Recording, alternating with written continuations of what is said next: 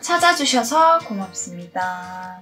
작년 한 해 대한민국 매출이 가장 많은 상권 탑 30. 어떤 곳이 매출이 가장 많았는지 영상을 통해 꼭 확인해보세요. 채널 고정! 30위.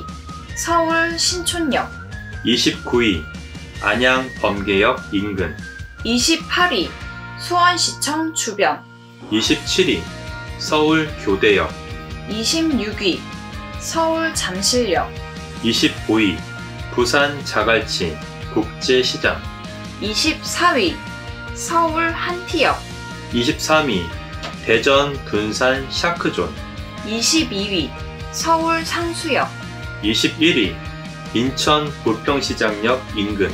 20위 안산 초지동. 19위 서울 교대역 남부터미널 주변 지역. 18위 서울 삼성역 17위 대전 둔산 이동 상권.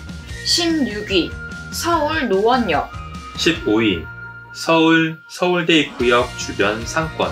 14위 성남 야탐역 13위 성남 서현역.